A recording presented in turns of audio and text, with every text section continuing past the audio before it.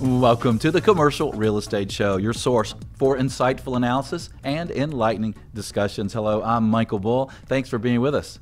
Well, we have a fantastic show for you today. We're going to talk about the U.S. housing industry, the real story. Look, obviously, the housing market impacts the economy in a very big way. Understanding the trends and forecasts can help us make better, better business and investment decisions. Please welcome my first guest. It's Danielle Hale. She's the economist with the National Association of Realtors. Danielle, thanks for joining us today. My pleasure to be here. Uh, we appreciate it. And let tell us what's the latest on the housing market. Uh, how, how is how are house home sales doing?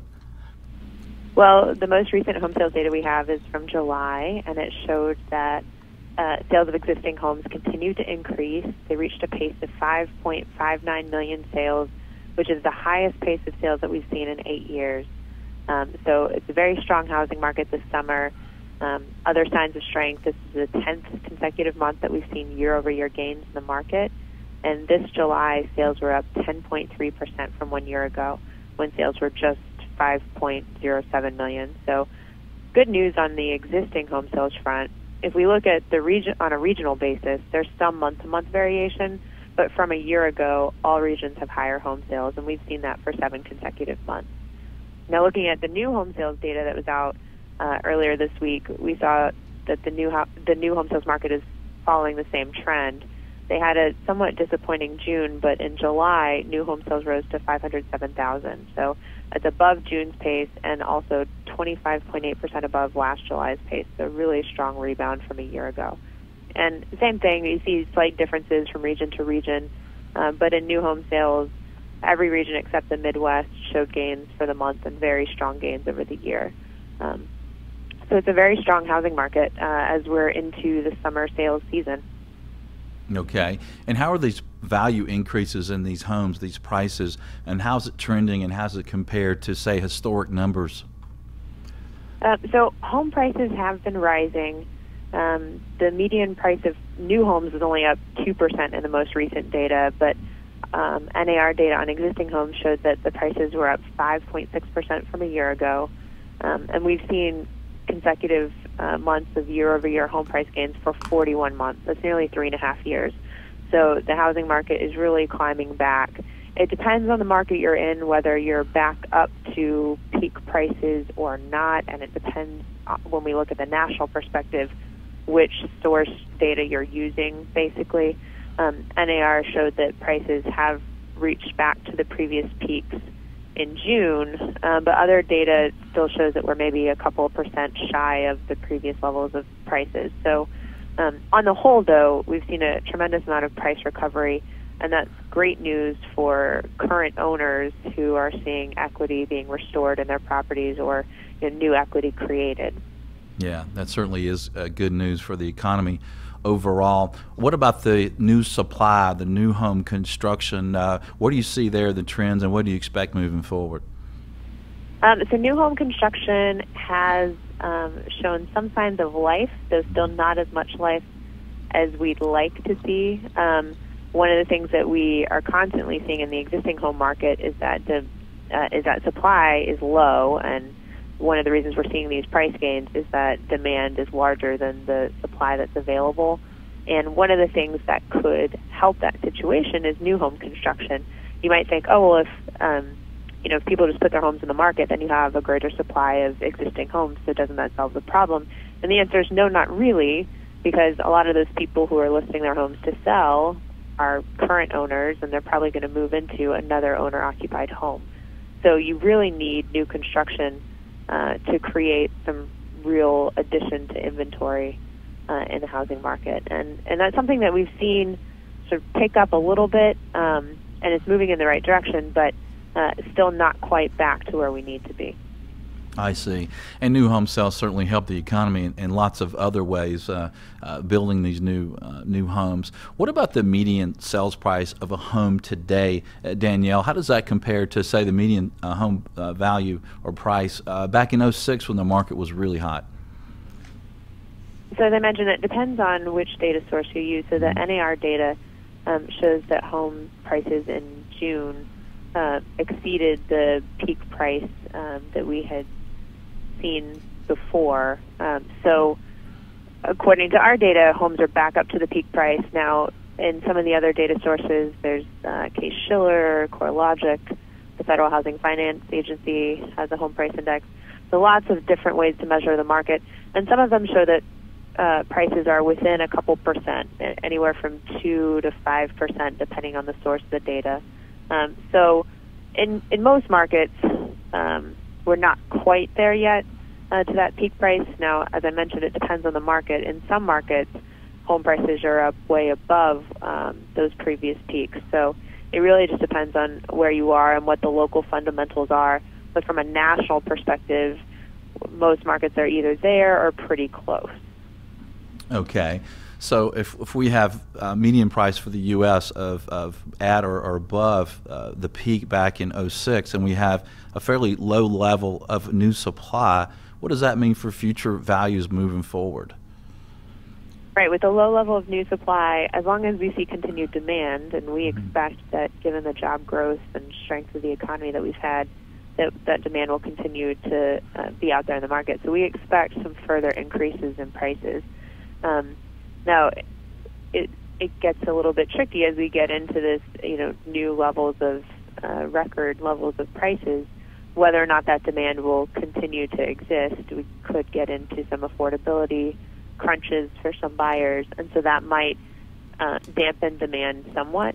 Um, but at this price level, for certain, we've continued to see strong demand, and that has tended to push prices higher. So the median price in June, for example, was 236,300, um, and that is the all-time high um, since we since we started keeping track. The previous peak was in uh, 2006, as you mentioned, and the price was $230,400. So um, we're back up to that level uh, in the housing market, um, which is a great thing for owners, current owners. It's given them a lot of equity. Okay. Well, we're talking with Danielle Hale, economist with the National Association of Realtors, about the U.S. housing market. And I think it's interesting when you talk about affordability, you talk about median prices that are, are, are, kind of, I guess, at record numbers, if you will. How is the, the, the values of these homes keeping up with the fundamentals of, of jobs and wages?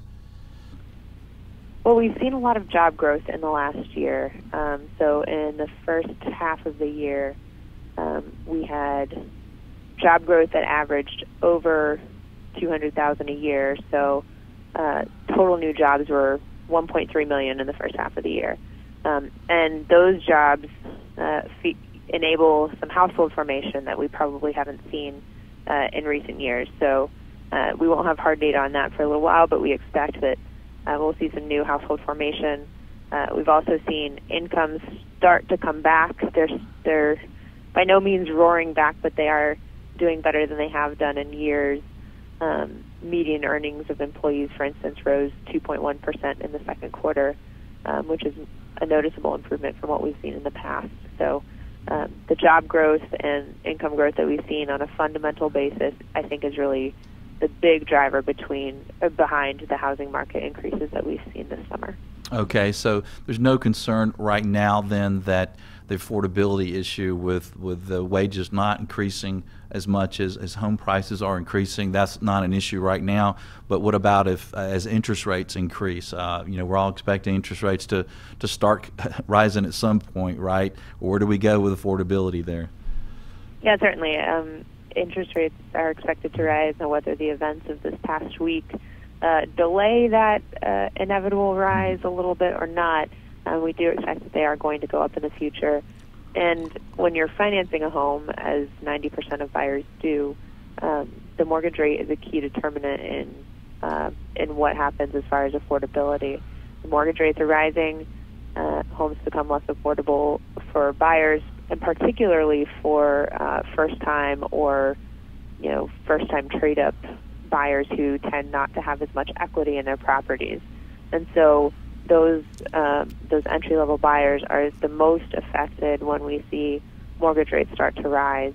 Um, so that could uh, that could mean that as mortgage rates rise, we see a little bit of a slacking off in demand. Um, but at the same time, those fundamentals remain solid. Uh, I think that the rebound that we've seen in the housing market this summer is really due to job growth that we had before the first half of the year. I mentioned the, the strength of the job growth in the first half of the year, uh, but there tends to be a bit of a lag between the job growth and the actual home purchase because uh, okay. in the financing right. process. And, and I want to hear more about that. We take a short break. We'll be right back with more on the U.S. housing market. The Commercial Real Estate Show is brought to you in part by your friends at Bull Realty.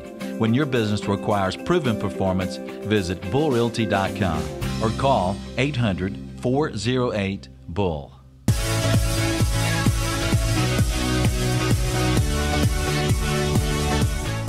Welcome back to the Commercial Real Estate Show. I'm Michael Bull. Today we're talking about the U.S. housing market, the real story. My guest is Danielle Hale. She's economist with the National Association of Realtors. And, and Danielle, I think one question that my listeners might have on their mind is the impact of rising interest rates initially on the home buying market. Are there possibly a lot of buyers that are on the fence now when they start seeing interest rates start to climb a little bit that they may become more active? Yeah, that's certainly been the experience that we've seen in the past. Typically, um, after an initial rate increase, uh, we see a lot of those buyers who had been looking uh, make a quick decision um, instead of you know continuing to look, thinking, oh well, you know the rates are going to be the same. It's not a big deal if I wait. I can wait for the next property. Um, but usually, as those rates start to move up, we see um, a big a big surge of activity um, and the interesting thing is, as we enter this tightening cycle, uh, you know, it might be that um, that that pressure sort of remains in the housing market for those people who are looking. Uh, that that it might shorten the timeline um, of search as people get into the market and they know that uh, the interest rate pressure and trend is constantly on the upside. It might um, it might get them to think and think through their decision a little bit less potentially and act on it a little bit quicker than once they come to the point where they're ready to actually purchase a home. Yeah, that makes sense. I mean, we've been hearing about rates uh, rising for so long. It's like now it's like, oh yeah, really? Yeah, okay. we'll, we'll believe it when we see it. But I think another question my listeners may have for you is is how does the economy in China uh, and the U.S. stock market, how much of those types of, of things have an impact on the U.S. housing market? Um, well, the uh, I, I guess for the decline in the U.S. stock market, that may create some uncertainty um, for some buyers who are in the market. Just in general, uh, big economic events like that um, tend to lead to uh, you know a little bit of uncertainty. Uh, but sometimes that uncertainty can be a positive thing for mortgage rates. We talked about how, in general, the expectation is that uh, mortgage rates are going to go up, but they tend to sort of take a pause and sometimes move a little bit lower when you have a lot of uncertainty in the market like that. Um, as far as concrete impacts, uh, we find that 9% of buyers indicate that they make a down payment um, from selling stocks or bonds, and another 9% indicate that they use 401k pension funds, including um, some sort of a loan. So um, it could be that for some people, this market disruption came at a really bad time. Um, but generally, uh, generally we shouldn't see a huge impact, especially if it's a relatively short-lived and financial situation only. And as far as the situation in China, we do have some international buyers, and they're uh, they're a significant portion of existing home sales, about four percent total. Um, but you know, as disruptive as the stock market decline in China has been, if you look on a year-over-year basis, the market there is still up pretty substantially. So we think that this uh, this uh, decline that's happened recently will affect only a really small portion of um, investors, and so it should not have broader effects as long as it you know remains relatively contained, which is what we expect so far. Okay, so with the economy um, problems in China, might that help U.S. home sales or maybe more Chinese and, and other foreign investors uh, looking at the U.S. housing market as a safe haven? Yeah, certainly. It, it remains um, a safe haven option for investors around the world, um, and even in the most recent year, you know, purchases of invest of U.S. real estate by foreigners. China is one of the top five countries um, of whose investors are purchasing in the U.S. So it will continue to be an important outlet for those investors. And they're buying expensive homes, aren't they? They're not buying the starter homes. Yeah, that's right. So um, the overall average U.S. price is about 256,000. That's different than the median that we talked about before, just slightly different math. Um, but on average, foreign clients are buying nearly a $500,000 house. So it's nearly twice the price of the average U.S. house. And are they buying houses and condos or, or more of one or the other? Um, they're pretty active in all types of um, purchase market. Um, so it depends on the specific market that they're in, but uh, we see them pretty active in both types of housing market. And what states do you find foreign investors most active? Uh, I, I tend to think of, of Florida maybe California. Where are they active? Yeah, they are in the larger states. So Florida, mm-hmm. California, which are large population states, large volume states in general. Um, also, Texas and Arizona are uh, where we see the biggest uh, portion of international sales. In fact, those four states uh, alone counted uh, accounted for half of the international sales that we saw. So foreigners are purchasing property nationwide. So every state has some foreign activity. Okay. All right. So we have foreign investors. We have the uh, the funds that have come in and bought a lot of houses and, and are renting them out and holding them. It seems uh, for the most part. You know, then we had some uh, governmental uh, incentives uh, for buyers to to buy homes. What do you say to folks who say, "Hey, maybe because of these reasons, uh, there's a housing bubble"? I mean, the prices are, are historically at the top. Uh, what do you say to those people? Well, I think there there aren't any new incentives for um, for buyers to get into the mm-hmm. existing home market or to the housing market. Um, so if most of the government programs that are in place have been in place for a very long period of time. I'm thinking specifically of the mortgage interest deduction that's uh, been in the tax code since its inception. Um, so I don't think that you can tie those particular incentives to any specific um, gyrations in the housing market. And I think that they do a lot to open up opportunities to potential buyers. And um, so I, I think that um, those are essentially a, a positive for the housing market. Okay, so the amount, large amount of investor purchases, whether it's funds or, or foreign investors, uh, you don't think has a, has a big impact on, on the values, or as far as the a bubble that some people might think is out there, or be worried about at least. Well, I think that those those funds and the foreign investors, I mean, they're purchasing uh, as an investment, so I think they're going to make sure to uh, look at the fundamentals of the market and make sure to take care of their investment. And I think, you know, once it gets to a point where the prices really are quite high, which maybe we're at right now, it might make sense for some of those purchasers to sell some of those properties and realize the gains that they have. And so that could be a potential source of additional supply to the market other than the new construction. Okay, we're short on the break, but uh, what price range of homes are, are most active and sought after right now? We've really seen uh, the biggest activity in the above median prices. Last year it was in the upper, upper tier. This year we're seeing more evenly spread in the median and all above median prices. The only place that activity is lagging is in the lowest tier, and that's probably because we see less importance and fewer opportunities in distressed properties. Okay, and so the future, you're bullish on the future of the housing market then? I think the fundamentals are strong. We talked about job growth and income growth. I think that the that those fundamentals are strong enough to weather the mortgage rate increases that we all know are coming. Um, but only time will tell.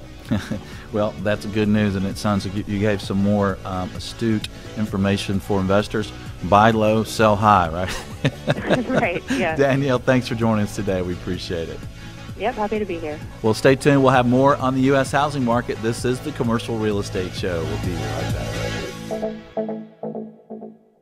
The Commercial Real Estate Show is brought to you by Bull Realty Commercial Advisors, a great place to do business. Visit bullrealty.com. RealNex, a comprehensive and powerful suite of commercial real estate tools at an incredibly low price.